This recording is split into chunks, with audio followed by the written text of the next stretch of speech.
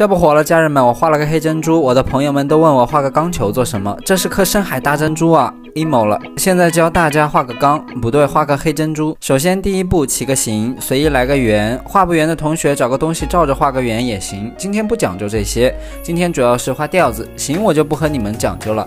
形体起好之后呢，就是区分大的黑白灰。珍珠这类物体表面光滑，反光程度呢比较高，所以我们可以先把位置找一下，把需要加重的地方、形体以及高。光的形体都找出来，这样我们后续上调子的时候就可以放开了去加重。这一步做完之后后，就可以拿出软一点点的铅笔，这里我用的是四 B，顺着珍珠结构去排线，把高光的形也一点一点的塑造出来。但是高光形不能卡得太实，要虚一点，珍珠温润的感觉才能出来哦。这些位置整体找完之后，就可以上纸巾，把画面柔和一下，这样珍珠的质感会更加的明显。